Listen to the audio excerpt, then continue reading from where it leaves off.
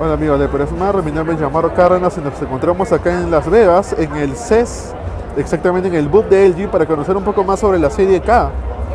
En esta oportunidad vamos, estamos probando el LG K10 2017, el gama media baja más potente de LG presentado recientemente la semana pasada y que si bien no es el más potente de su gama ni de su competencia, la gran ventaja de ese teléfono va a ser su precio.